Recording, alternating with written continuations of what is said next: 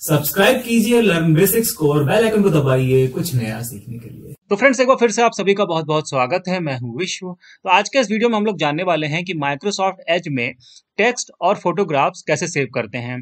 Microsoft Edge में एक option होता है कलेक्शन का, जिसकी मदद से आप अपने मन चाहे टेक्स्ट और फोटोग्राफ्स उसमें सेव कर सकते हैं, यानी कि उसका एक कलेक्शन बना सकते हैं। ठीक है?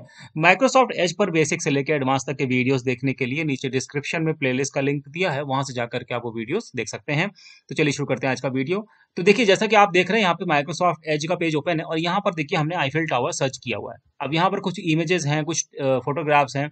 अगर हमें इसका एक कलेक्शन बनाना है, यानी कि मन चाहे टेक्स्ट और फोटोग्राफ्स को अलग से सेव करना है तो उसके लिए हमें क्या करना होगा? राइट साइड में देखिए थ्री डॉट यहाँ पे मिल रहे हैं आपको।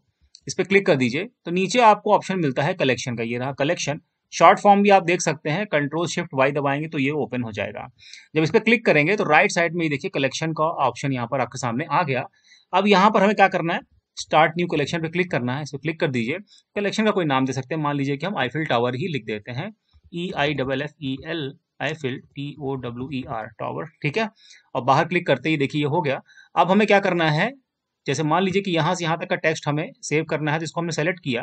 उसके बाद इसको पकड़ा और यहाँ ला छोड़ दिया। तो आप देखेंगे कि जो टेक्स्ट था वो यहाँ पर आकर के सेव हो गया। उसी तरीके से इमेज पे चलते हैं और कोई एक इमेज सेव करके देख लेते हैं। मान लीजिए कि ये इमेज हमें चाहिए, इसको हमने पकड़ा और यहाँ ला छोड़ दिया। तो देखिए इमेज यहाँ पर सेव हो गई। अब चाहे तो आप इसको यहाँ से क्रॉस कर सकते हैं और जब भी आप कलेक्शन पे क्लिक करेंगे, ये आपके सामने कलेक्शन आईफिल टावर का आ जाएगा। ठीक है?